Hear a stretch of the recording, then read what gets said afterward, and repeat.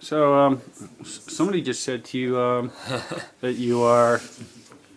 Yeah, they uh, they referred to me as a new instantiation of Dr. Pangloss Okay. uh, from uh, Candide, self-proclaimed optimist and professor of philosophique optimiste cosmologique, according to Wikipedia.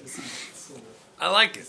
You know, the, the, the tweet came from Eco Hustler, so I, I'm not sure who they are. They're in the, they're in the UK, and uh, what do you got in your hand there? well, this is uh, Leibniz, because you were saying that uh, he was the one that coined the term "the best of all possible worlds," and uh, Dr. That's right. Pangloss used that Leibnizian mantra, "the best of all possible worlds," or the one that we're living in or we're going to build.